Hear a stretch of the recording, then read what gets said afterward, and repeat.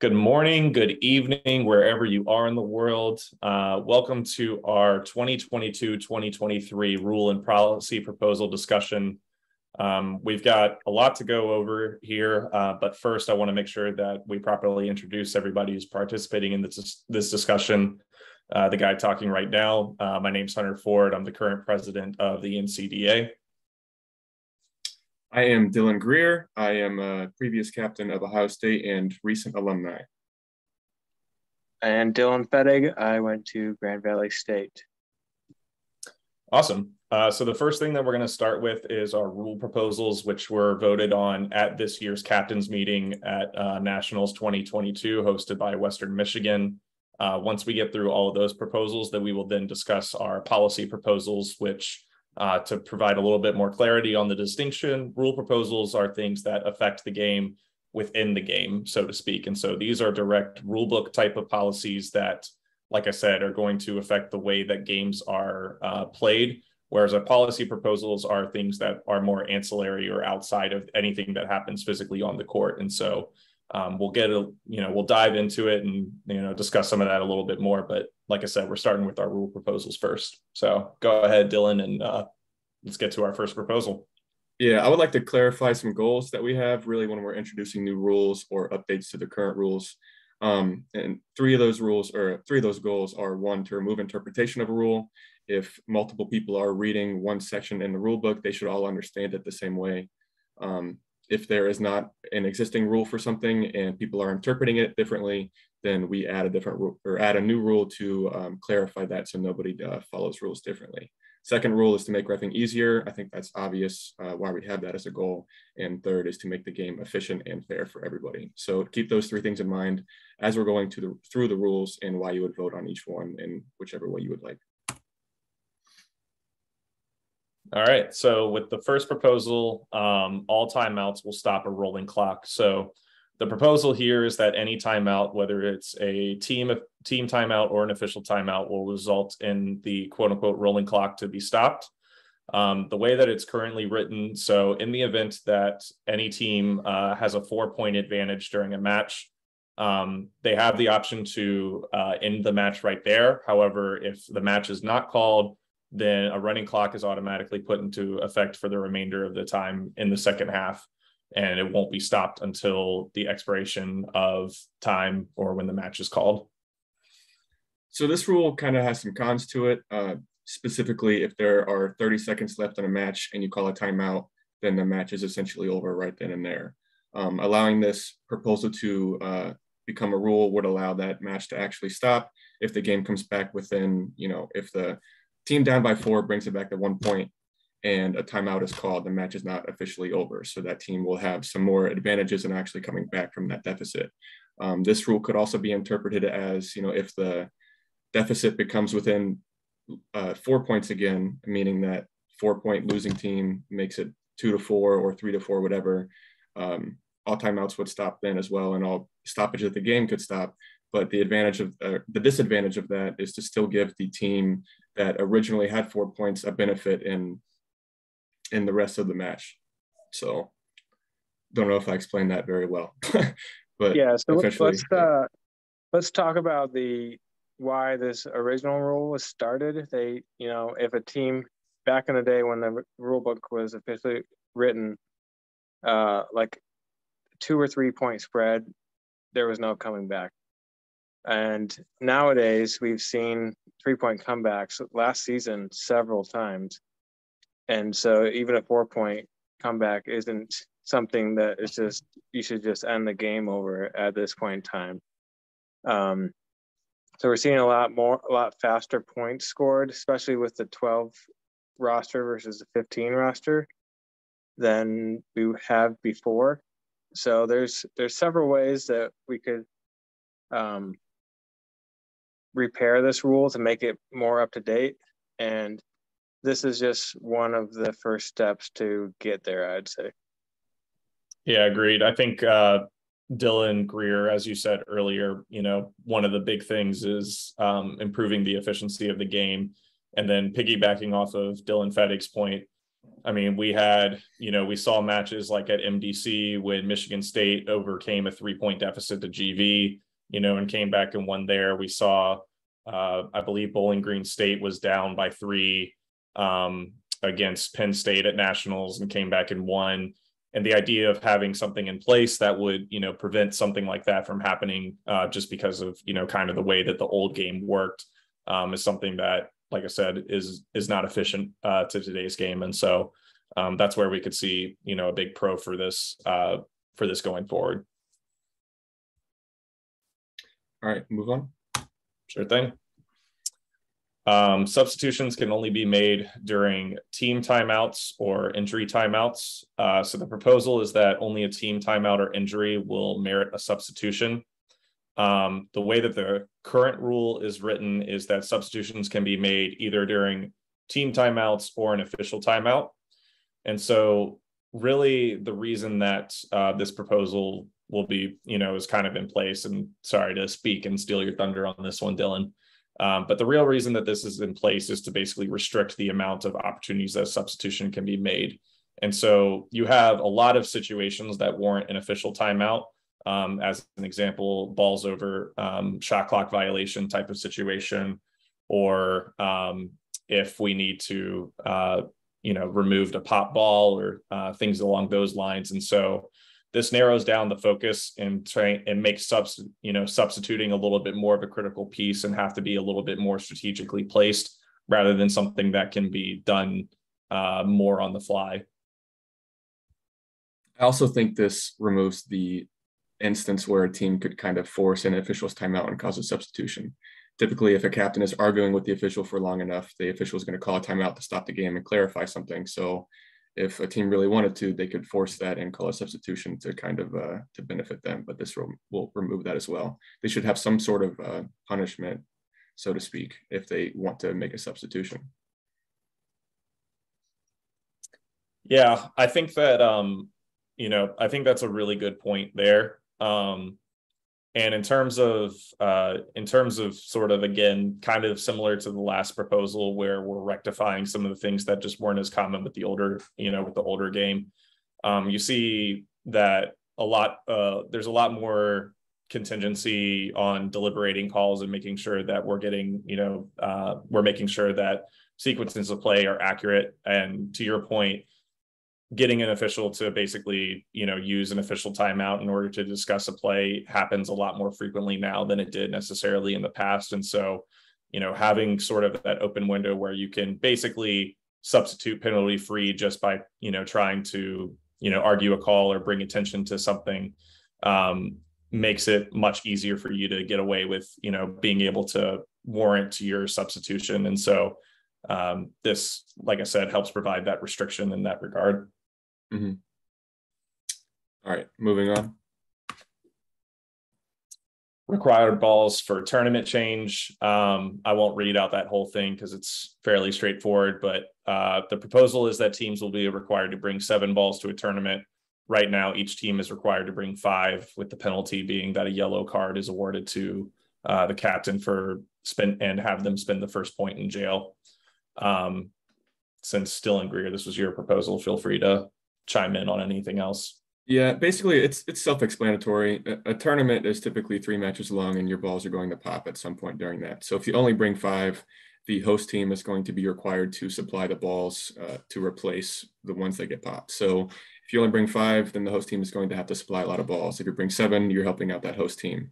And they shouldn't really be punished that that much for uh, hosting the tournament and really doing all the work to bring those teams together. Um, there's also another proposal where the um, the ref is required to hold an 11th ball in case of a ball pop so they can keep the natural flow of the game going. We'll talk about that in a minute. Um, allowing teams to bring seven balls will allow that 11th ball to be in play since now we have 10 ball or 11 balls being required at the start of each match versus 10. Um, just trying to help the, the host teams and uh, allow for a larger income of balls to each tournament. Gonna, gonna move on. All right, so this one is a little bit of an interesting one that I know that both Greer and Fettig have a lot of opinions on, so um, I'll defer to them. But uh, entering the court while holding a ball. So the proposal is that players will now be eligible to pick up a ball and enter the court upon reentry from a catch, even if the ball they are uh, picking up is uh, currently out of play. Um, the way that it's currently written right now is that a player coming in from the jail uh, is not intentionally is not allowed to intentionally touch a ball before entering play. Um, intentionally touching or securing a ball declares that player live, but standing out of bounds. So therefore, that player would be ruled uh, out in that type of scenario. I think there's a lot of pros and cons for this proposal. The pro is that um, we could actually follow this rule um, because in a lot of matches this past year, this this has happened and the refs have not been able to see it, or if they did, they would they would call them out if they knew the rule. But uh, if we allow this rule, then we don't ever have to worry about a, team, a player coming in and picking up a ball before they go in bounds, and that's something that the ref would no longer have to pay attention to. Um, it, if this proposal passes, then we have one less thing to worry about, and uh, we don't miss any calls. Uh, there was a lot of instances where somebody picked up a ball and they were not called, and it changed the game. Um, some cons of this are if you're coming into play and you get a ball from out of bounds, you can have protection as soon as you enter the court. I know one really big strategy is hitting a player as soon as they walk in bounds. And that's something that you have to worry about currently. But if this proposal passes, then you have protection, which also isn't necessarily a bad thing, but uh, it's just something to think about how it changes the strategy. Yeah, you pretty much hit all the pros and cons. Only other thing I, I can think of is basically if someone gets a ball out of bounds and brings it into play with them, um, we might need to look at any kind of additional rules if they make a play or make interrupt a play or something before they become an active player. Like, what do we do there? I mean, I'm sure it's just a, it's probably if we just tack it on to the like make interfering a play as a dead player, probably yellow card, but it probably would be something we should look into as well. Yeah, this is something that there's probably going to be a, a couple more rules affected if this proposal comes into play, but hopefully nobody really abuses the ability to pick up a ball before they come in bounds. And this is just something to make refing easier instead of making the game uh, harder to interpret. So either way, this this proposal passing could be good for a couple things and it could be bad for a couple more things. Um, it, it, doesn't change much. The, the biggest thing for me is that refs will no longer have to worry about this if it does pass. Yeah, and if you're the you're the first or the only player out, I guess, and you're shagging balls for your team, you get called back in while you're shagging a ball. Like, should you be out? No, that's that's pretty lame. That's that's so, fair as well. Yeah. All right, moving on. All right, so recently eliminated player may pass a ball back to their team.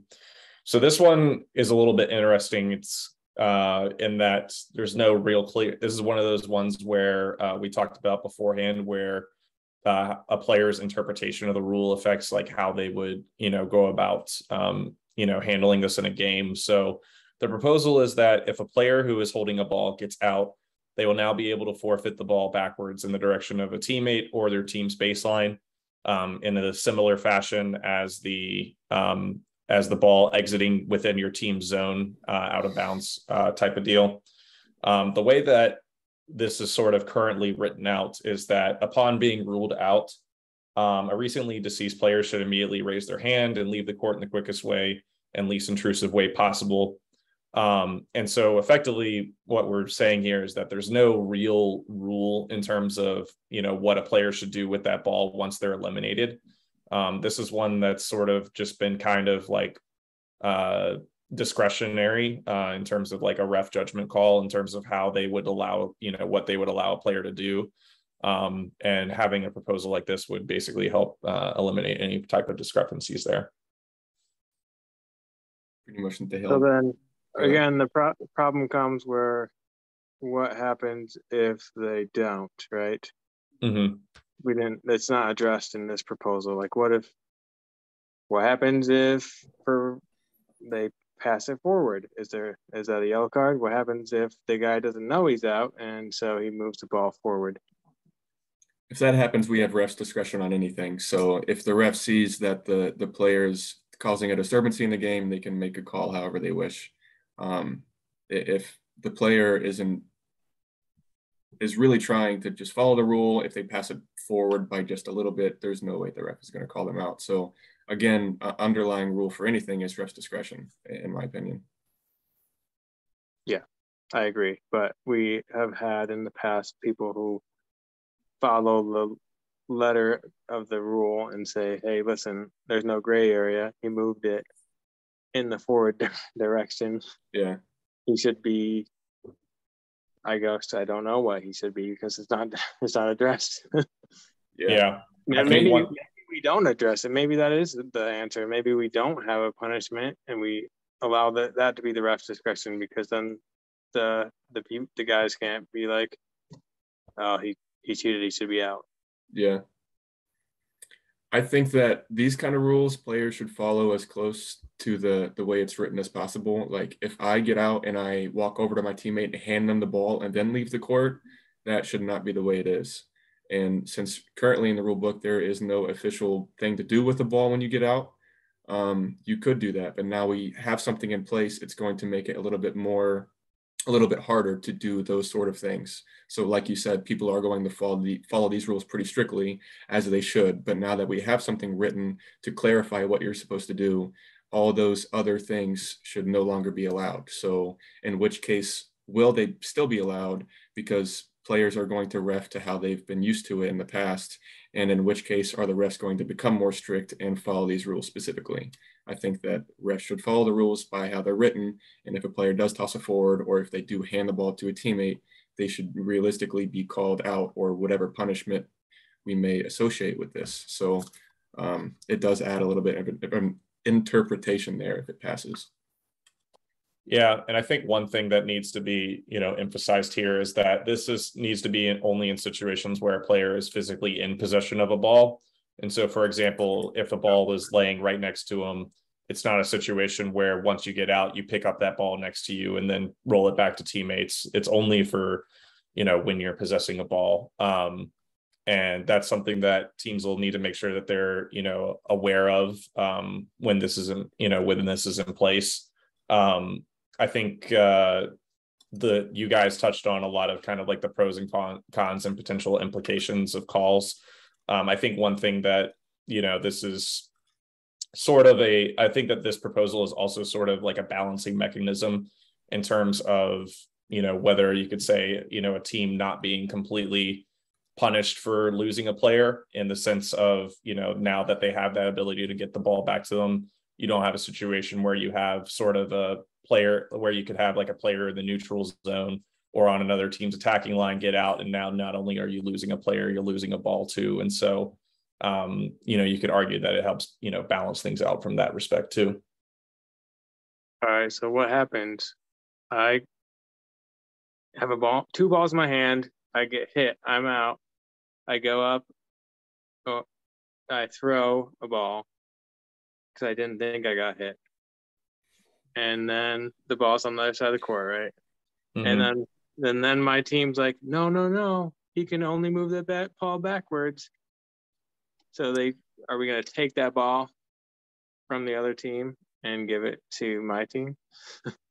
In that sort of situation, I think the ref should call a timeout and clarify what all happened. If the player didn't think that he got it and he continues to play, and then some other things happen, let's say that ball that he threw hit somebody, then the, the person he hit would obviously be safe if that player was out. So that's a situation right, but, where the refs need to stop play. Where's the ball go though? It should be back to the the team. If he's in the neutral zone, you're saying? Yeah, I'm in the neutral, zone. neutral zone. I throw a ball, but I'm already out. The only way the direction the ball should go is backwards, but I threw it forwards. I say the ball is placed in the neutral zone when play resumes after the official's timeout. Mm, okay. because he's allowed to throw the ball backwards, but that doesn't mean that he has to. It will every single time. Okay, I like that. I like that argument. Cool. All right, let's move on. no worries. Um, uh, balls over slash shot clock penalty change. Um, so the proposal here is that if a shot clock violation call is made, the offending team will forfeit all balls in their possession until they have two remaining. If the offending team has two or fewer balls at the time of a shot clock violation call is made, the no balls will be forfeited. Um, the way that our current rule works is that in the event of a shot clock uh, violation and a failure to uh, make a throw within the illegitimate attempt zone is made, then that team uh, who violates the rule uh, will be forfeiting all of their balls to the non-offending team, and each team's shot clock will be reset. So um, I'll let you guys talk a little bit more because I know you guys have stronger opinions on this than I do, um, and you can go from there. Yeah, I think this is one of those rules where we really just have to see an effect before we know the full implica- implications of it. Uh, this this rule is to uh, minimize the penalty of getting a balls over if a team has eight balls and they make a, a throw that is pretty close to being valid, but the ref calls it a no throw, uh, which those calls by the refs are up for interpretation. So then the the team gets the balls over, and it's pretty much the ref's fault, or it could be the ref's fault. Should that team get penalized all eight balls for something that the ref could have called a throw? The, the idea of this proposal is to limit those issues where it's a pretty harsh penalty for something that you know realistically wasn't that big of, a, of an issue. Um, I think it adds too much complexity into the game. I think it makes the call more complicated and it adds too much incentive to not make a, a valid throw.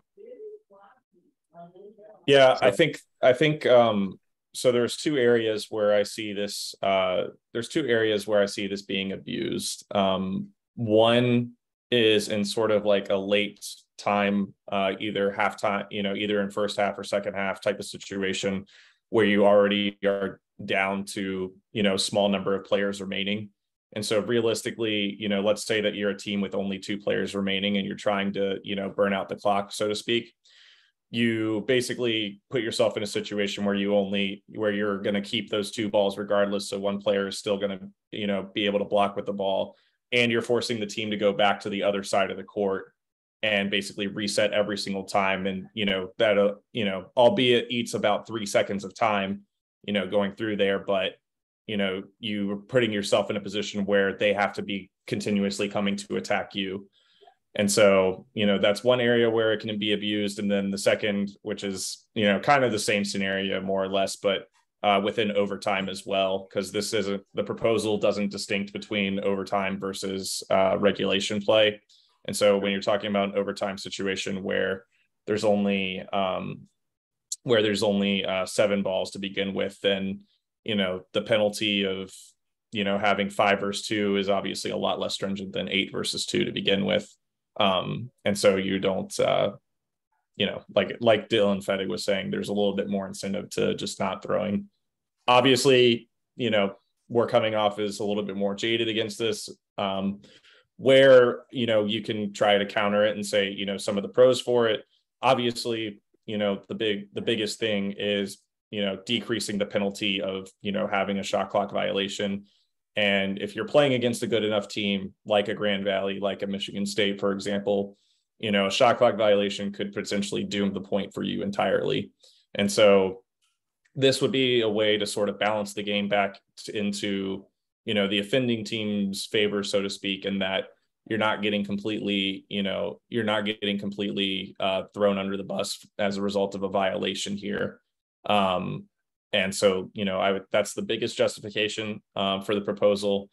Um, i think that the other aspect of it is that uh, i do i'll sort of contradict myself here. I do think that uh, it adds a little bit of complexity in terms of you know, adding, you know, different minutia to the game. But it does keep a little bit of consistency with our current rule, which is that a team with two balls or less uh, doesn't have a shot, you know, doesn't have a shot clock. And so that part doesn't change, uh, you know, as a result of this, and that, you know, the team with that commits the shot clock violation isn't going to be having a shot clock afterwards either. And so, um, you know, you could argue that it's keeping some consistency there, but um, again, just trying to make sure we're you know presenting it you know and on from both perspectives yeah i think there's a lot of pros and a lot of cons and we're just going to let uh, you guys the member teams kind of figure it out for yourself whether or not you want to vote for it i think that either way at the end of the day, is it really going to affect the game by that much? We'll see. Yes, absolutely. I think, I think, I think the answer there is yes too, but uh, yeah, It's that's again up for the teams to decide. It basically will take like shot clock violations from like three to five a game to like ten to twelve, in my opinion. I mean, I, I definitely I agree with that, but do you think that it's going to change the outcome of the game that much? It's going to change the the effect, yes, but is is the is the better team still going to beat the lesser team? Probably. Yeah, but- Essentially, you don't want to balls over anyway. Yeah, but if that's that's a bad argument for a rule. Like, is a better team going to win because of this rule? Yeah, Yes, but I'm like, just trying to move on to the it- next rule. Is is where I'm at. Well, this is this is the biggest this is the biggest game changing rule on the docket. So I don't know Yeah. if we need to. I think I did just think of another situation where it sort of can be abused by both sides at the same time, so to speak. And that could be in a scenario where teams, you know, are in a tie game with only a couple players left on both sides, and you're sort of more incentivized just for neither team to throw and just kind of milk it into overtime. And basically, you know, sort of eliminates the need for any type of urgency to get that point in the game. Um, you know, I know that's a little I know that's a little bit niche and maybe some teams will, you know, don't necessarily think about it that way, but it could, you know, that's one possibility of, you know, two teams that decide to just kind of take the safe road and stall out until, you know, OT, so to speak. So I was thinking, and there was there's like this weird situation. If you have four balls, right? You Mhm. throw one you throw one ball and it doesn't count. So now you have a couple seconds to make a decision like do I attempt to make another long throw that might not count, which could lose me because then that would get me down to two balls in my possession when the shot you just got muted, Dylan. did you lose me for a second? You, yeah, you're good now though. Yeah, so if I so if I if my third if my second throw doesn't go, then I would go to zero. It's almost like, oh, now I definitely shouldn't throw because then I only lose one ball instead of three. It's like a a weird like. There's certainly no reason to throw this this ball. Yeah, I mean, there's a, it definitely increases the incentive to not throw, which I think is a bad thing for the game. But uh, it also removes those long catches that teams didn't want to throw anyway. So if you have three balls and you don't want to throw that third one because there's no point because you still keep two balls, then you don't have to throw a 50 foot throw across the court that might float to somebody's chest. So yeah, I- but why why why should we give someone like a reason to be in a bad position when they had 15 seconds or 10 seconds to not Yeah. be in that position? I, I agree with you, but I think if we're just going over the proposals, we should cover the pros and the cons to it so teams can decide on their own and vote. Because I, I, I agree with you that there are a lot of cons, and I understand you feel strongly about this not passing, it seems like, but we'll, we'll, we'll see what happens. Just leave it at that. yeah. Yeah, I mean, I think we've pretty much drilled down every type of scenario or way that this either adds or detracts to a game. So I'm fine with uh fine with where we were in that regard. Yeah. Yeah. All right. Next one is very not controversial. So uh adding the addition of two back judges uh to an officiating crew. So the proposal is that in addition to head, assistant, and shot clock referees, there will be a back judge added to each side of the court who will make calls and um, as an additional assistant referee. Uh, right now, there's no requirement for it, so there's no, um, you know, there's no rule necessarily in place for it. Um, obviously, the pro is that you have an extra set of eyes on the court, and they have the ability to make calls, and uh, especially keeping in mind uh, making calls on players who potentially step out of bounds and things of that nature um, and you know it'll be a lot better in that regard. Um, you know, the one, you know, quote unquote downside to this is you know having to provide you know another additional referee um, for a match, which um, Two referees. means or two referees, excuse me, which means passing you know two more people who have to pass your rulebook quiz. Although I'll say that you guys should try and make sure everybody in your team passes a rule book quiz just so that they know the stuff.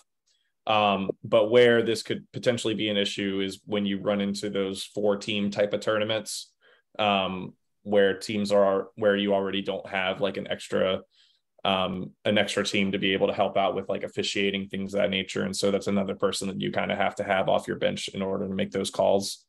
Um, so there's there's that aspect too. Yeah, I think that as you as the teams uh, vote on this, you need to think about the full implications of the rule. So requiring two back judges uh, for each game means that those two extra players and two extra refs are required. So every match that is played has to have those two. I think that really the, the big reason for this proposal was to encourage teams to think about having backline judges because right now in the rule book, those are optional. And teams don't really understand that in, in any single game they could have those two backline judges whenever they want to. And if teams are thinking about that more as they play games throughout the season then maybe we'll see that and backline judges will be encouraged and more often used more often. But requiring them for matches where we have a number one team versus a number 16 team seems like uh, this seems unnecessary. Um, in those close games, yes, we should have them more often, but requiring them just takes away personnel that we don't really need in, in that game. You should be having your fifth and sixth person on your team maybe think more about streaming and shagging for somebody rather than requiring them to be in the back line when they don't really need to be. But this should be encouraged, in my opinion, and it should not be required. Betting, any thoughts? Uh, yeah. So like if you went to a tournament with five teams we have two games going on at once, yeah, that means you need 12 refs at one team needs to supply 12 refs at the same time. So we have teams that just can't actually do that at this point. Yeah, there are a lot of pros to it.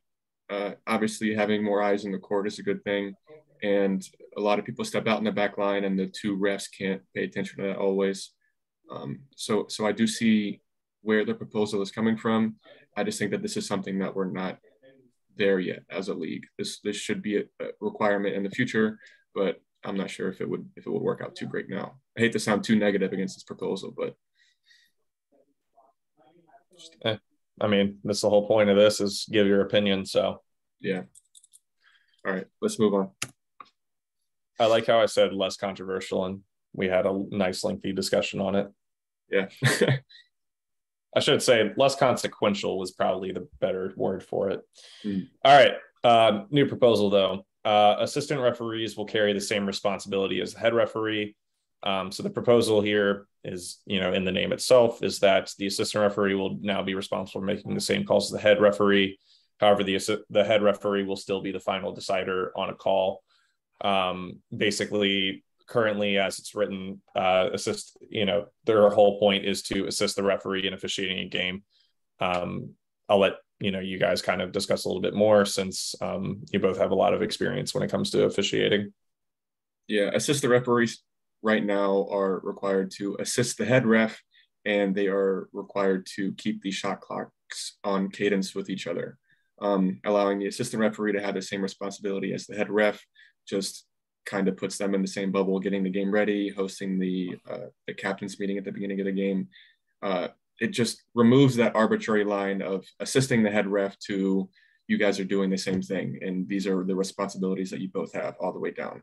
Um, it, it's kind of important to make the head referee still be the main the, the, final decider on a call because you can't have two people decide and if you're 50-50 on something then nothing is going to be decided at the end of a at the end of a call. So this just makes the assistant referee a little bit more important, and uh, hopefully makes referee, refereeing easier all the way around.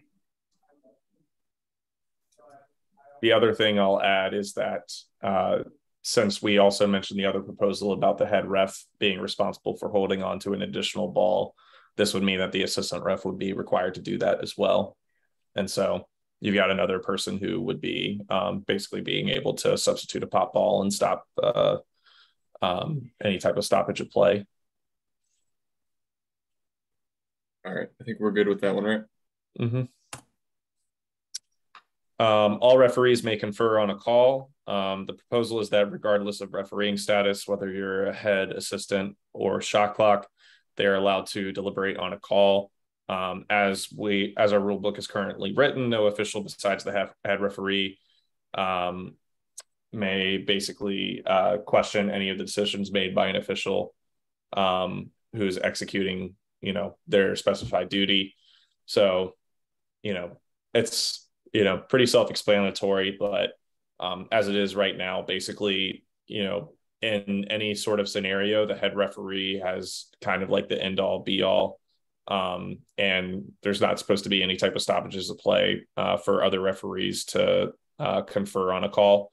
Um, and that's just kind of silly. and so, you know, you want to make sure that you have somebody who's making, you know, who has the best eyes and best view on a call to be able to make that call. And so this just kind of like helps uh, go towards that direction. Yeah, right now the shot clocks don't have much uh, much authority in the refing crew. So if a head ref makes a call on somebody that gets out right in front of a shot clock, the shot clock is not allowed to tell the referee that they are wrong. They're not allowed to change their mind or really discuss that call at all. So allowing this to change will give that shot clock the ability to give their opinion on what they saw if they had a better angle on that call than the head referee. Yeah, I don't really see any downside to it. Stoppage of play, maybe.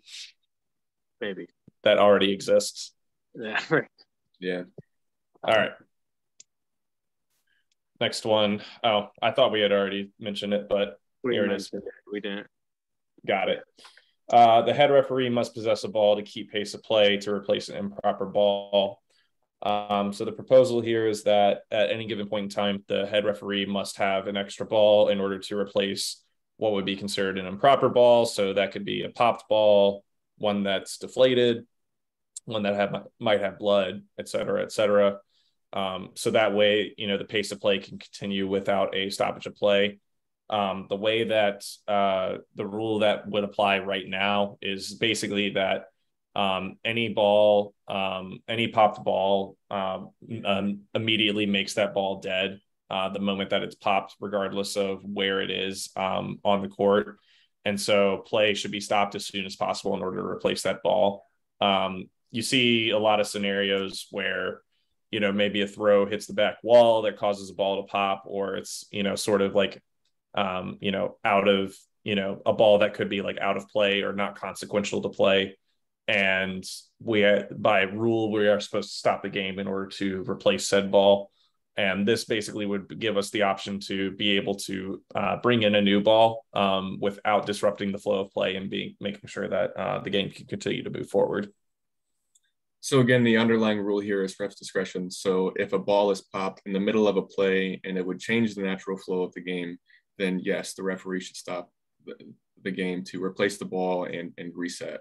But if somebody is picking up a ball out of bounds in the back line and they realize the ball is popped and it's not going to really affect anything in that moment, that player can just toss the ball aside and the ref can give them an extra ball to, to let the natural flow of the game continue. Um, a lot of times refs currently don't actually stop the game. So encouraging this rule to pass would also um, kind of make things more consistent in the ability for refs to call the game. Yeah.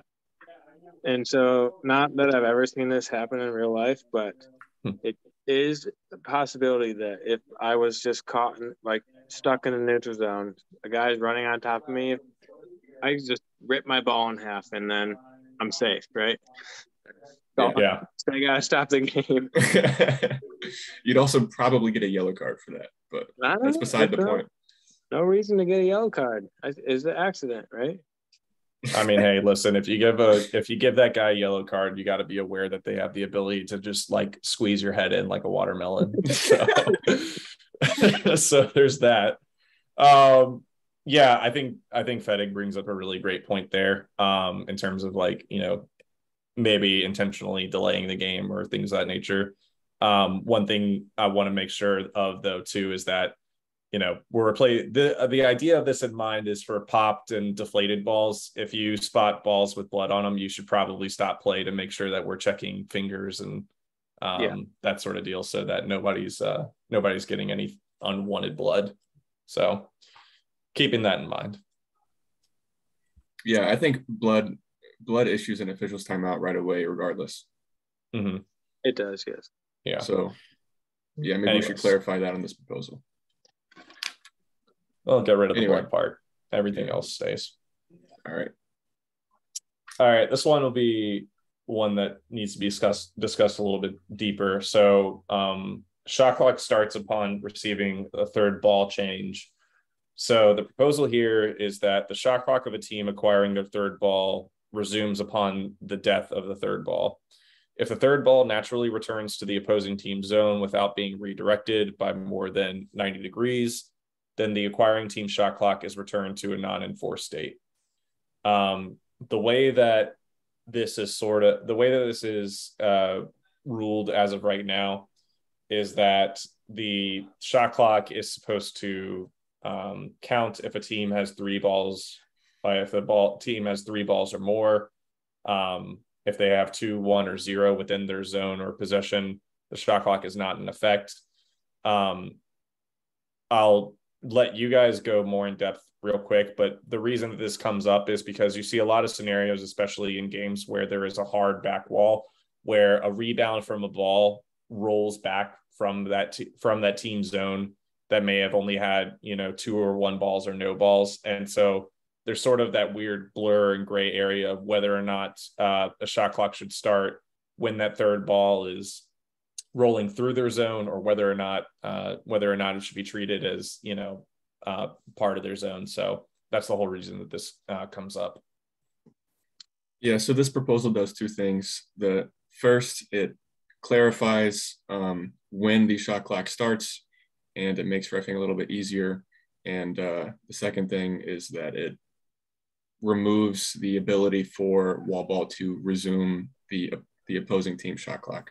So right now, the, the clock resumes whenever that third ball becomes, or it comes back into the zone and uh, allowing it to start right when that ball becomes dead makes it really easy for all the rule for all the refs to uh, start that clock at uh, a regular interval instead of waiting until the ball comes back in. And maybe they don't understand that. I know a lot of refs don't follow this uh, the right way which is unfortunate but this makes it easier for them um, the redirected by, by 90 degree thing is just so if, if you're playing wall ball you throw at the wall and it comes right back to you that's zero degrees if it hits somebody on the way back and it stays on their side, then the clock should resume right then.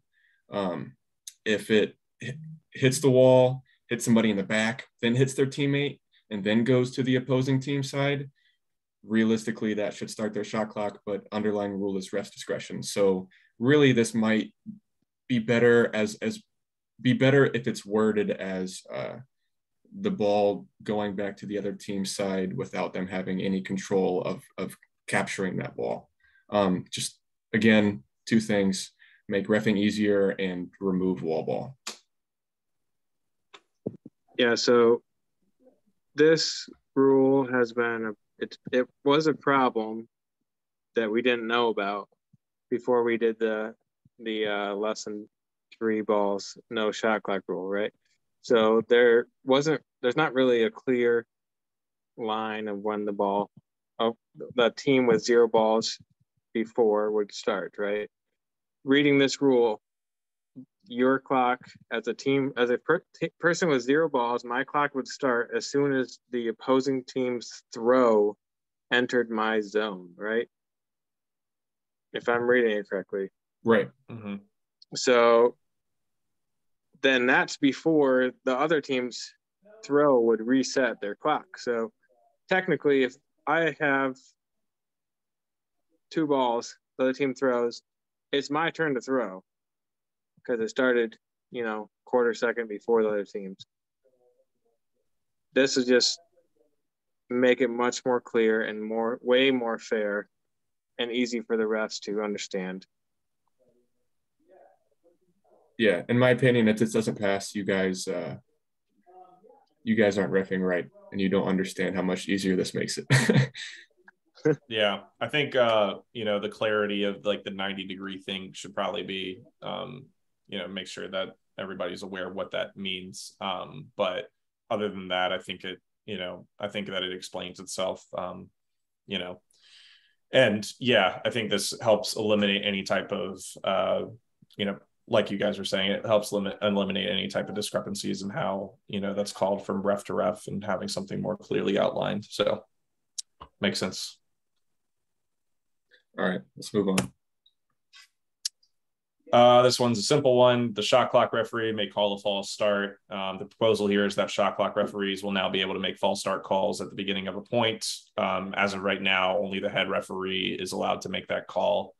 Um, I think this one's a slam dunk because, you know, realistically, having, you know, multiple eyes again, being able to make a call is, you know, the right decision. And so I don't have any disagreements or really any con to mention here, unless somebody wants to come up with one as a head ref, I would tell my shot clock guys, you watch each your side for false starts and then tell me. So I was basically bypassing that mm-hmm. rule that didn't allow them to call. But they weren't calling it; they were telling me, and then I would. Yeah. That would just skip skips the middle guy, right? Yeah. Agreed.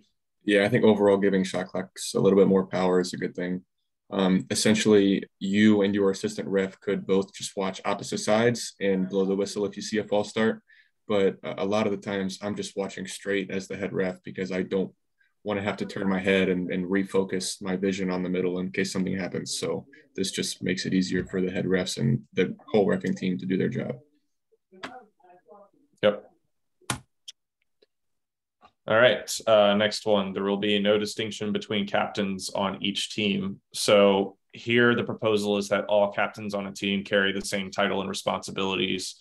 Um, effectively, what this does is dissolve the difference between uh, captains and alternate captains. Um, as it's uh, done right now, uh, players are designated. Uh, players are designated at the beginning of the game with officials um, where a team has to have at least one player registered as a captain and uh, designate up to three uh, three alternate captains as well. And then additionally, one thing you know, kind of want to clarify that the slide doesn't show is that there's different penalties uh, tied to whoever the head captain is versus the alternate captain, uh, depending on different situations. And so um, this would like a like the proposal says absolve the idea of a sort of you know sort of head captain and alternate captains. And so they all just you know carry the title of captain. Yeah to clarify this does not mean that teams are not allowed to have alternate captains. You can still have captains and alternate captains uh, associated with your team however you want. But as far as uh, the ncda is concerned all captains have the same uh, the same roles and responsibilities, and all punishments that are associated to each captain are the same. It, a, a, captain is not punished any more than an alternate captain if, let's say, a team false starts twice. Um, this just kind of makes it a little bit easier to ref and a little bit easier to award penalties if they may incur. Um, but you can still have captains and alternate captains associated within your team if as you would like. Yeah, so this only really affects false start penalties and um, like team penalties, I guess, like your coach getting a penalty or a mm-hmm. fan mm-hmm. getting your team a penalty. Is that the only two instances that it actually changes? Yeah. Um, go ahead. I can't think of, of any others specifically, but I know it does incur in the rule book uh, a couple times. Um, Hunter, do you know specifically other ones that it affects? I can't remember whether or not technically only the head captain is supposed to be able to discuss calls with the referee. I think all I think it's actually all captains. So it is all captains. Okay. So really it has more to do it has more to do with that. Um, but there are also pen like I think you and I might have just mi- missed it when you discussed it, but um, there was the uh, yellow card situation where it's a um, there's effectively a hierarchy of who gets eliminated on like a team yellow card. Yeah. Um, and so right now the way that it's done is that the head captain is eliminated. It, it has to be eliminated first, and then alternate captains are selected by the other team after that. In this case, it would basically just be the team that the team opposing the offending team would just pick amongst any of the captains instead of it having like a set hierarchy. Okay. So, So basically, this it just takes like four lines out of our rule book that people have to read. Yeah. more or less. Okay. All right. And then last one, um, change to simultaneous last players out. Um, so the way that this proposal is stated is that if the final players for each team get out simultaneously and it's not clear who was out first, uh, the players will reset to their baseline along with the balls that were in their team zone um, slash possession. Any balls that were in the neutral zone um, during the stop will be placed in the middle. Um, this would effectively be treated in the same way that an official's timeout is treated. Um, the way that it's currently written, however, is that in the event of the last two players simultaneously out, it is a do over where all of the balls are reset to the opening rush format. Um, this would basically just eliminate, you know, the idea of uh, stopping play to reset, you know, balls and, like I said, treat it more as like an official timeout.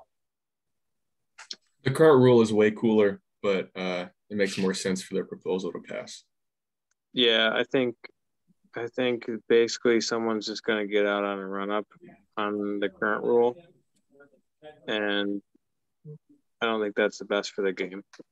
Yeah, I've never seen this happen, but in case it does, it's better to have the the rule that makes more sense in place. I think we should just move on from this one. Okay. Well, that was our last uh, rule proposal. So we'll move on to the policy proposals. Um, as I mentioned earlier in the broadcast, uh, basically policy proposals are going to be uh, bylaws that are uh, going to be within our constitution and are, you know, impacting aspects of collegiate dodgeball that are uh, not on the court. And it'll make a lot more sense once we go through um, once we go through these. Right. So the first one is a really big proposal, um, a change to the proposal to change the overall ranking system. So the proposal is to switch our ranking system from the um, from 100% Gonzalez uh, from 100% Gonzalez to 70% Gonzalez and 30% NHL scoring. Um, we have an article available online, uh, which we'll share again, that highlights a little bit more in depth um, all the nuances and what this entails. But I'll give a I'll give a quick rundown just to make sure that we don't waste too much time here. Um, essentially, the way that Gonzalez works is is what's commonly referred to as an ELO rating system, which is akin to what others might consider like a power rating system, where it's an equal exchange between teams when a resulting match is played. And so, uh, however many points that a team uh, wins as a result of winning the match subsequently the team that lost the match will lose uh, the exact same amount of points and so the idea here is that you get rewarded and gain more points for beating higher caliber opponents um, and if you are beating on opponents that are lower caliber you will lose let you know you'll lose less points or subsequently if you lose to lower caliber caliber opponents you will lose more points um, and so basically it is structured as a system that, like I said, uh, is more about rewarding playing quality opponents rather than uh, necessarily, you know, the total amount of wins that you rack up and that sort of thing. Um, where the 30% NHL scoring method comes into play, uh, basically the way that the NHL does their rankings is that uh, the outcome of a game results in a set number of points. And so if you win a game within uh, within regulation, that is considered two points. If you win a game uh, within overtime period, or excuse me, let me rephrase that. If you win a game outright, uh, you're awarded two points. If you lose a game within overtime, you are awarded one point. And if you lose a game in regulation, then you are awarded zero points.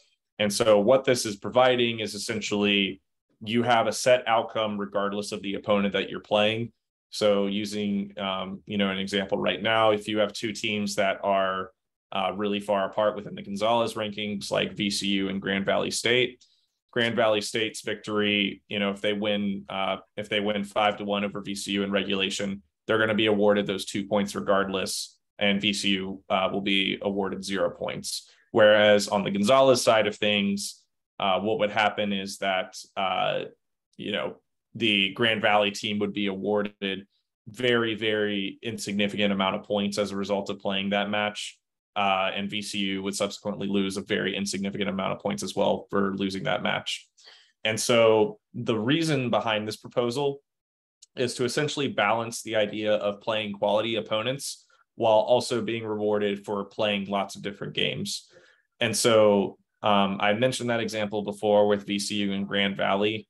Um, effectively what this does for us is it prevents a situation from a team like a Grand Valley who has a very high Gonzalez rating from playing a very minimal number of games in order to preserve that high rating that they have and basically you know kind of force teams to be able to branch out a little bit more and to play more games overall because you are being rewarded for playing more games overall um, the other benefit of it is that um, it sort of helps balance out uh, some of the teams that uh, are on the lower end of the Gonzalez system because what happens is uh, you are not being penalized as a result of playing and losing to a tougher opponent because you're just given zero points. You don't lose any type of points uh, as a result of you know playing a tougher opponent, but you do get the added caveat of you know only basically gaining points as a result of playing. And so that's the whole you know that's the whole purpose of it. Um, in terms of sort of the pros and cons uh, that come with this, uh, like I said, the you know kind of through my explanation, the pro, you know, the main pro is by rewarding teams for playing more and more games. And so again, a team like uh, you know a team like Grand Valley right now doesn't necessarily have as many incentives to play games because their rating is so high and it's very hard for other teams to catch up. However, they get the benefit of basically winning games and being able to you know accumulate points on the NHL system.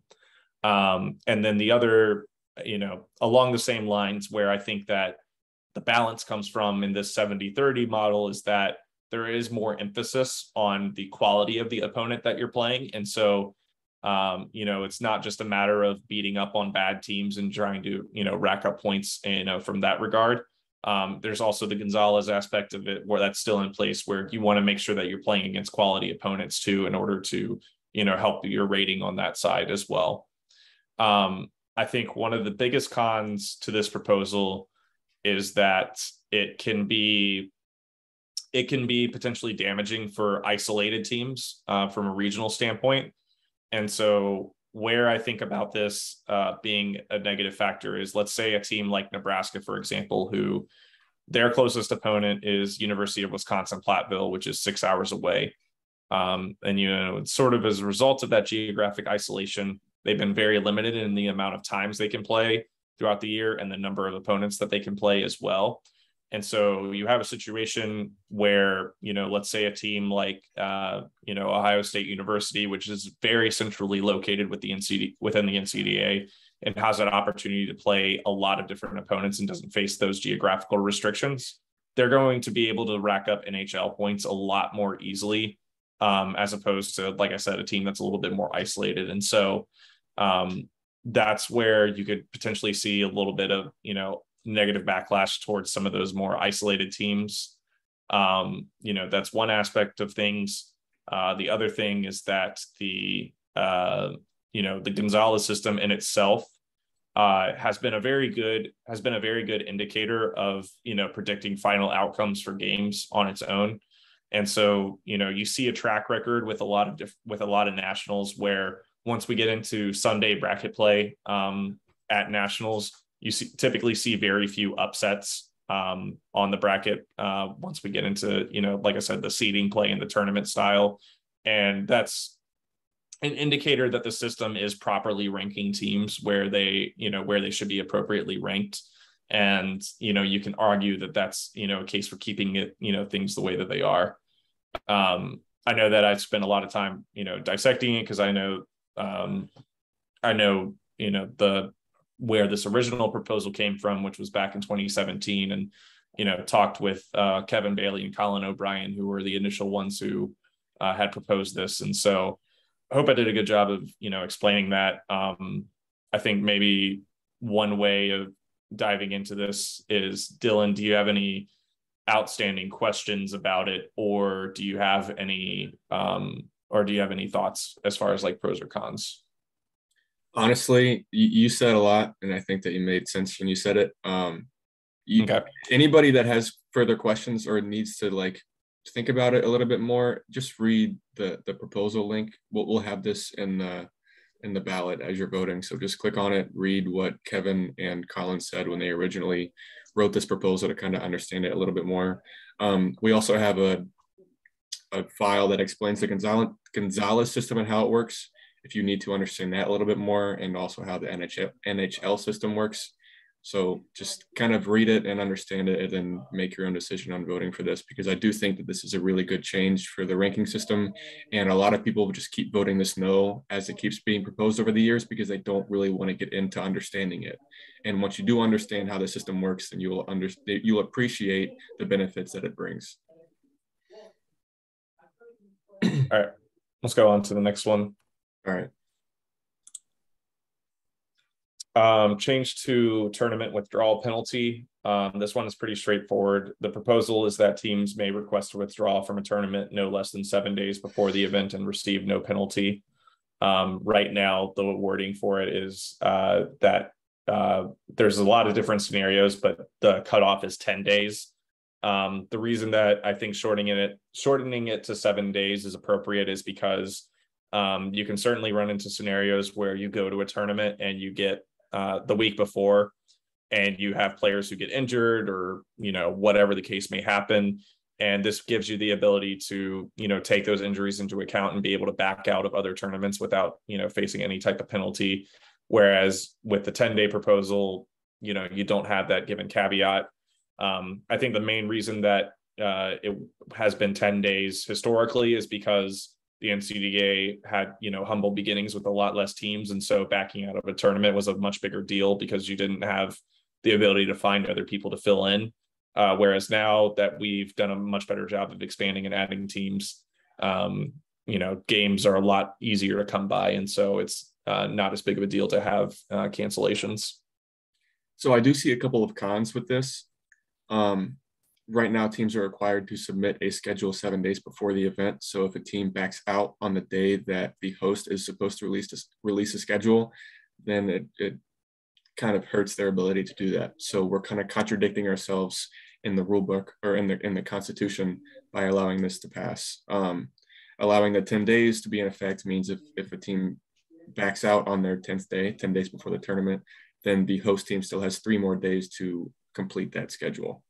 Um, if you are waiting, if you are competing in a tournament seven days before the upcoming tournament, and in that tournament you have some injuries that restrict you from going to the following one, then you have an excuse. Right now, the 10 day rule or backing out of a tournament, it's a it's a no excuse thing. If you have a legitimate excuse, you you will not be penalized for not going to that tournament, such as you know somebody's car breaking down three days before and you guys not being able to find a substitution for that, you will not get penalized for that. If I'm if I'm not mistaken, right, Hunter?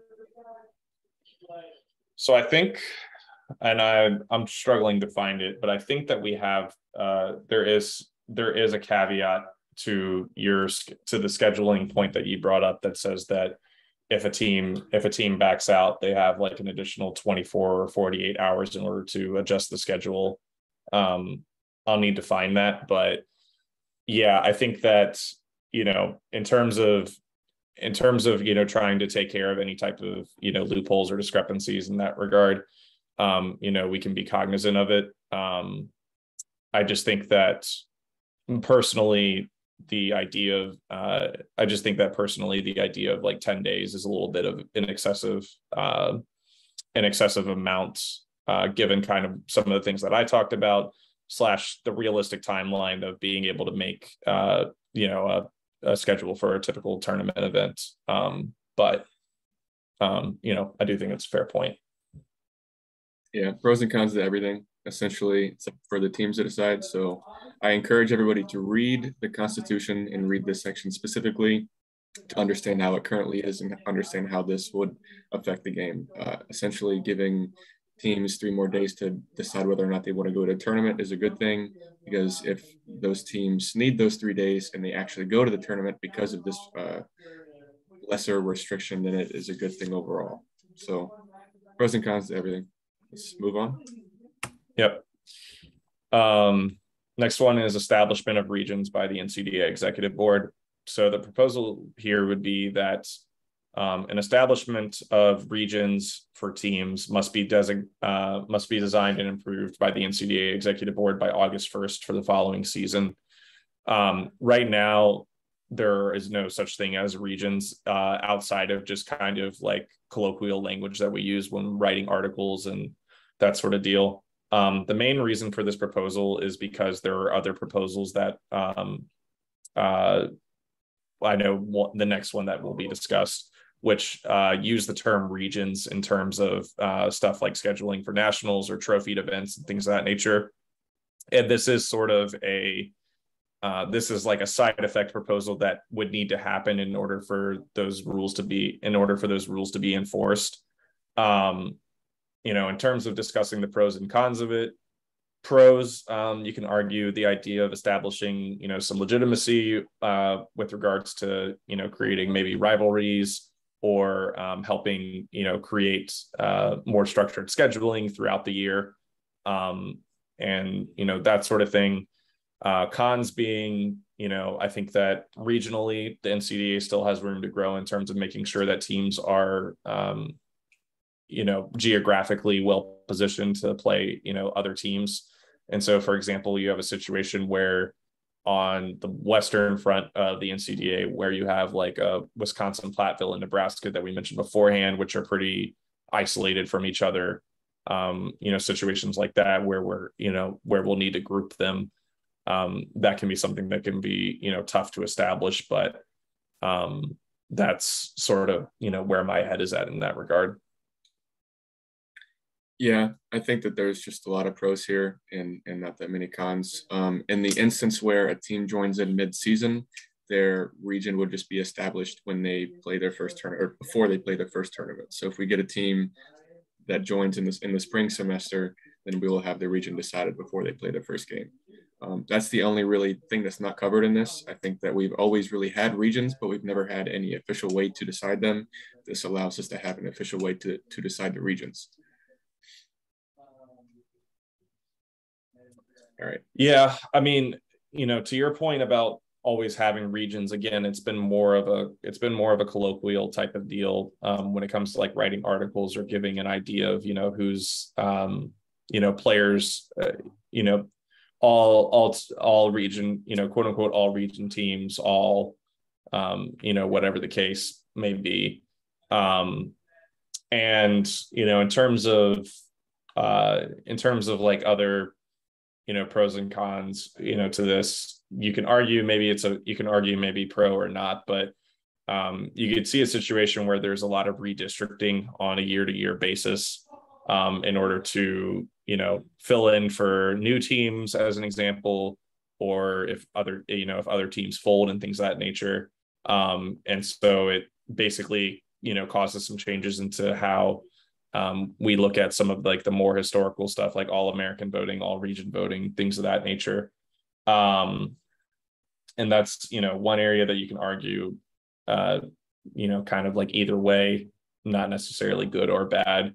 Um, another area kind of in a similar vein is the idea of breaking up what have been like traditionally you know certain regions. Like for example um, you know the ohio region now has uh, correct me if i'm wrong nine teams um, whereas you know our informal Michigan region has four, um, East Coast has six, and that sort of deal. And so realistically, we'll probably need to standardize said regions a little bit more to be more, um, you know, equal in numbers, and that's going to break up. Um, you know, that can has the potential to break up um, some of those more traditional um, aspects of things but again that's you can argue whether or not that's a con or a pro just sort of you know kind of depends on your opinion in that matter Yeah, essentially, as the, as the league grows, we will split regions up to be a little bit more equal across the board. But um, that seems like it may come in a later season, and this is something just to have established, which is good before we have that rapid expansion, which we uh, we plan to have in the, the next however many years. Essentially, we could have an Ohio North and, and Ohio South if we get that many teams. Having nine teams in Ohio versus four teams in Michigan is uh, it's a bigger difference than expected at this point in the league, especially having so many Michigan teams before. So it could be a, a benefit to splitting them up, but um, that's something that we will decide on as we get there. Fede, you got any thoughts as the uh, as the old man of this chat? Um, yeah, I missed a few things, but um, no, I think I think August first is a hard date because we don't exactly know who is going to be a team and what new teams are going to be forming at the time. Um, but if we push it back later into the year, then it's hard to schedule regional tournaments too. So yeah, I, yeah. I don't know what to fix. The date is a good point, especially having teams uh, join and drop out unexpectedly throughout the season, especially throughout the early bits of the season. Um, but that's something we'll just have to redefine as it happens. Yeah. All right, let's move All on. Right. um, so this is kind of why I brought up the the you know why the region uh, voting thing was sort of have to be a side effect if we if something like this were to pass. So um, the proposal here is that for nationals, teams within the same region can only play each other in round robin play if it's a mutual request between both teams. Um, the way that our proposal is written right now for non bracket play, which um, we um, established, is that. The, uh, uh, go ahead. Yep. You're fine. I put I put a link in there, so I don't know if you want to show that. You can just talk about it. That's okay. Um, the way that it, the way that it works right now is that teams have the ability to request to opponents, and uh, we're required by our constitution to uh, give one of those requests, and then also, um, uh, you know, that along the like along those lines, um, there's no there's no limiting factor in terms of who you're able to request that's going to nationals, and so it doesn't matter whether it's an opponent that you've played 30 times throughout a season or if you've played them zero times. If you request, we have, as the board, we have to grant uh, one of those two requests. And so um, that's sort of the, uh, you know, that's sort of the deal there. Um, and this proposal here would basically be eliminating the ability of, you know, teams potentially requesting opponents that they play on a regular basis if the other team doesn't want it. So any thoughts as far as pros or cons? Yeah, it's uh I think it's a nice thing to add because if if uh if I'm a team from if I'm UNL or UWP and I'm traveling all the way to VCU for nationals and then I'm gonna play three games on Saturday and one of them's against the other team, I'm and I'm not gonna be happy about that. Like traveling half, halfway across the country and playing the team that I play every single time. It's not very fun. Yeah. Should we go ahead, Dylan? Sorry. No, you're fine. I, I think that there's a lot of pros in this. Uh, you guys kind of covered it fully. I hope this passes. I was going to say uh, a little bit of history lesson. Should we dub this the uh, Rohan rule? Yes, I was gonna. I was gonna say that too. Like uh, you can give the story if you want, but yeah. Um, long story short, way back in Nationals 2015 timeline, uh, there was a scenario where, um, and this is this is a, this is a little bit different because this was a result of um, this was a result of uh, Saturday play, which resulted in Sunday seeding.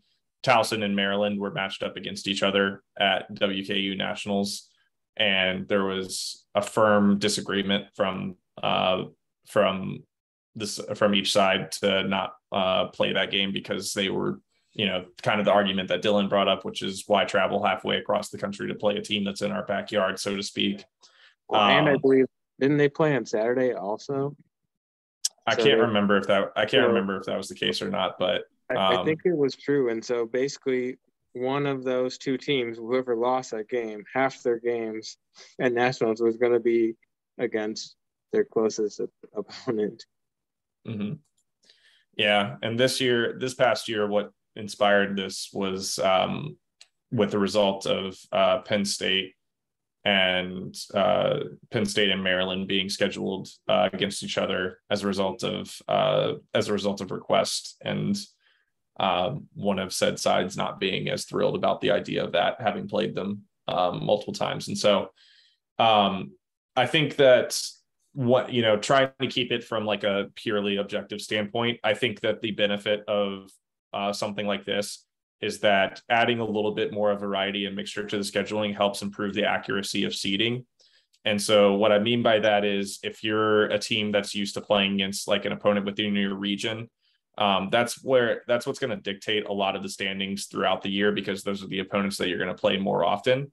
But having um, you know having some non-traditional opponents helps balance out um, you know effectively you know situations where one region might be stronger than the other and making sure that you know we're getting the most appropriate rankings uh, possible when it comes to our um, bracket play for sunday at nationals and so i think that there is an objective good there um, you know from that perspective um, you know obviously the you know con that you can argue is that you know you're limiting my freedom and my ability to uh, request who I want, and you know you can take that for what it's worth. But that would be really the only I would say the only objective uh, you know con from that perspective. Well, the other con, which I thought you were alluding to, was that it limits your freedom as the historical creator of the tournament schedule. It mm-hmm. makes it it makes you have a much harder job. So as the guy that makes the schedule, which is a terrible job, hmm. he's pushing for this rule that that speaks volumes. Yeah, that also is a fair point. Yeah, there's a closing closing thought. There is a con of uh, not being able to request some team in the same region, even if you haven't played them that year. So um, I don't think that Ohio State didn't play Miami this year. So if they wanted to request Miami on Sunday, or I'm sorry, on Saturday, they wouldn't be able to do that because they're in the same region. So unless Miami requested you back. Right. But uh, with this proposal, you can't request a team in the same region. So we wouldn't be able to play that team that we haven't played all year long. So in, in a region that is pretty deep, like the Ohio region, there are some cons here. Um, I think that maybe this would be worded better as you can't request a team that you have played one time throughout the season or played more than once. Um, but um, that's, um, in, that seems impossible. What? Yeah, I would I would just add that onto it. If you have yeah, if they're yeah. in the region and you have played them, you cannot request them. Yeah, I think we're already past the point to propose that, but I think that would be a, yeah, good, a good benefit. Yeah. All right, let's move on. Okay. Uh, trophied event requests for non-nationals events. Um, so the proposal here is that teams must submit bids to host regional trophy events uh, during the spring semester to the NCDA board, who will select the event location. Um, right now, there's no current policy on who is able to host said events. Um, it's just a uh, first come first serve basis. So uh, for example, whoever hosts the Ohio Dodgeball Cup, Michigan Dodgeball Cup, well, Michigan Dodgeball Cup's always decided, I guess, well in advance, but Ohio Dodgeball Cup is, uh, you know, has traditionally been like a first come, first serve thing. And one of the benefits of being a host school is being able to, um, you know, pick the schedule for an event. That being said, we did have a we did have a policy proposal change that for trophied events, the um, executive board is supposed to decide um, the schedule and approve that. Um, and this would just go to another way of making sure that there's um, a sense of fairness and that it's not just a first come first serve serve basis. It's making sure that the event is being held at the best location possible. yeah, as a person, Well, as a person that's never had to deal with this situation, I think Dylan Greer should. I don't actually know what the process is for Ohio's Dodgeball Cup to select the, their host.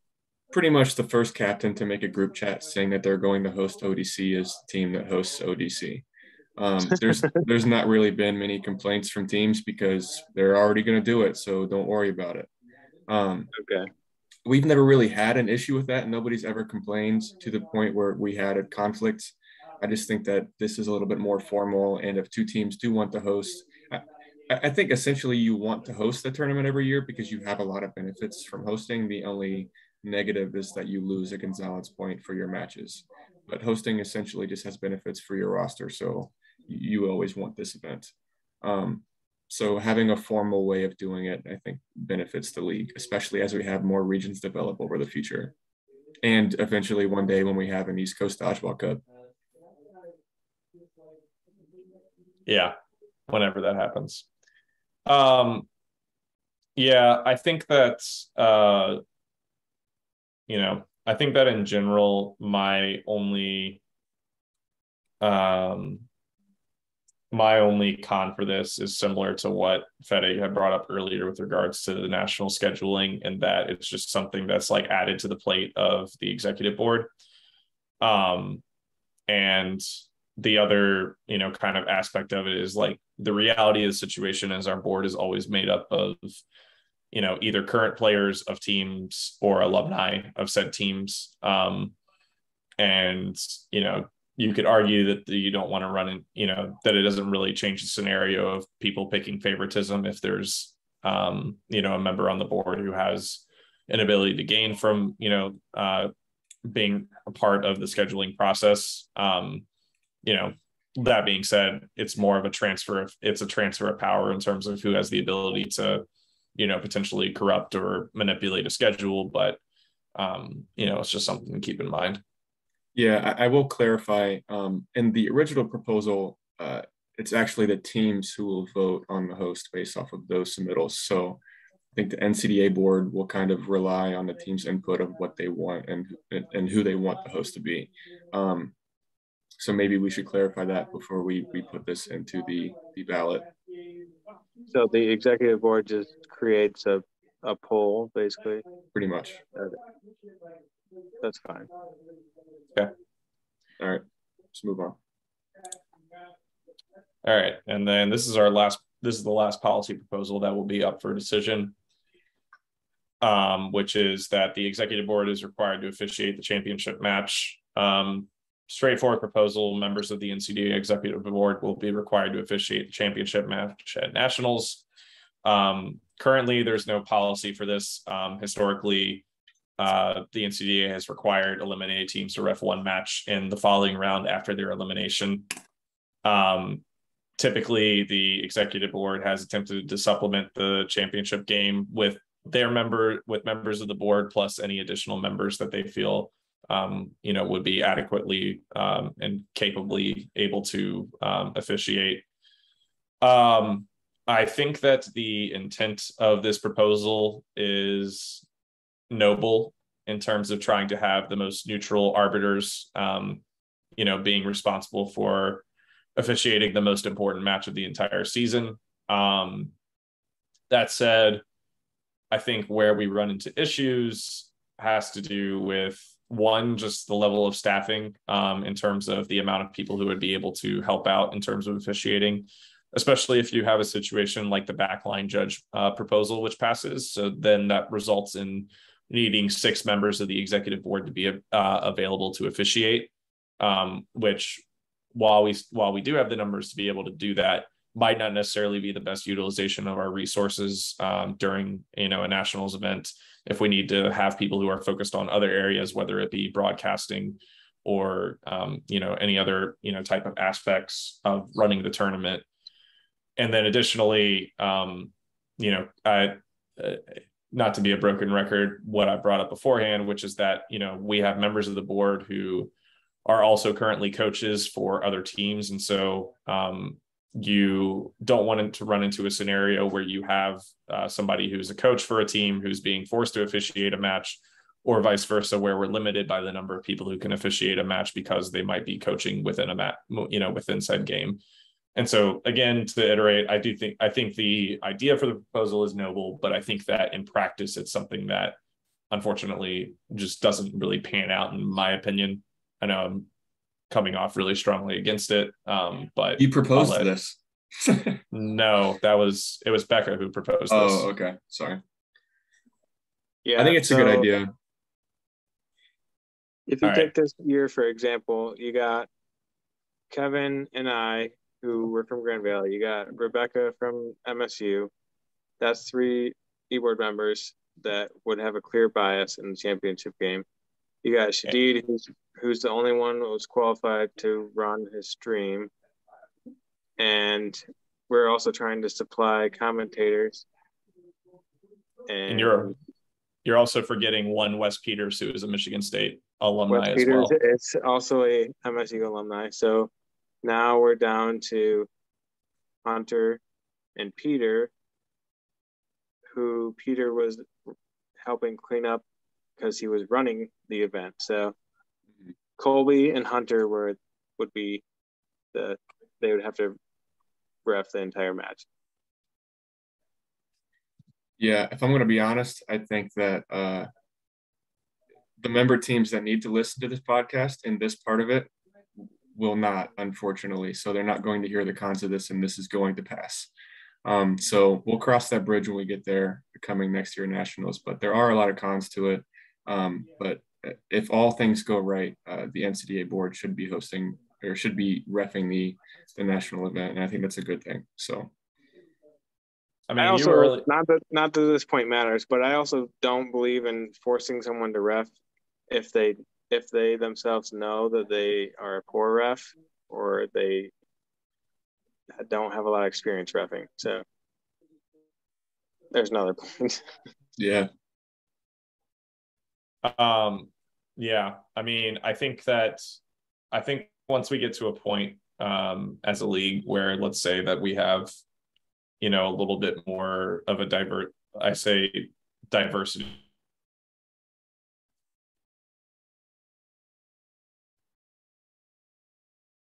falling under the you know noble intent uh, type of deal. But yeah dylan outlined it very well there in terms of what kind of limitations that you know would have this year. I mean to piggyback again off that point uh wes wes while he did a shot clock in that game originally was going to be head ref but it was uh, but by protest of Grand Valley's team not liking the idea of uh, Michigan State alumni, you know, officiating during a match, you know, they requested to have a refereeing change, which resulted in me refereeing, you know, being the head ref for the match. Um, and so that was, you know, something that we had already run into in that regard. Um, I know we're harping on, I know we're harping on this a lot. Um, it's just, you know, want to make sure that kind of like the, you know, everything is laid out here since this is the yeah. last thing that we had to discuss. I hope the people that are listening to this are on two times speed. And uh, that's our last proposal. Yep. So right. thank you guys for uh, watching and tuning in. I know that we went into a lot of depth, but we want to make sure that we're providing you guys with the most accurate uh, information and understanding for kind of where some of our more experienced members uh, view some of these proposals obviously we have our own preferences and biases but we will you know hope that we did a good job of making sure to try and outline some of the pros and cons uh, that we you know saw to these proposals. Uh, make sure that you guys are on the lookout for your ballots uh, because those will be coming out to you very shortly after this and good luck with your voting. Thanks for listening guys. And girls. Yikes